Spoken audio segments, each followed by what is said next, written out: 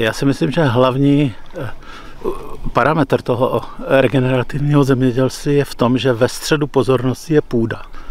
Její kvalita, dlouhodobá udržitelnost, dlouhodobé zachování úrodnosti a regenerování eh, eh, té, té, té, té půdy. Takže to je, to je ten fokus a samozřejmě ekologické zemědělství jako jde především za zdravýma potravinama, za minimální zátěží krajiny a půdy a a potkává se to tam. Precizní zemědělství zase nabízí technologie a metody, jak, jak optimálně hospodařit ekonomicky, taky, taky s malou zátěží. Takže ty, ty, ty směry mají mají jako hodně podobného, ale zdá se mi, že to regenerativní zemědělství jako nabízí takovou jako střechu pro, pro, pro všechny ty směry, kde se dá najít konsenzus i pro, i pro konvenční zemědělce.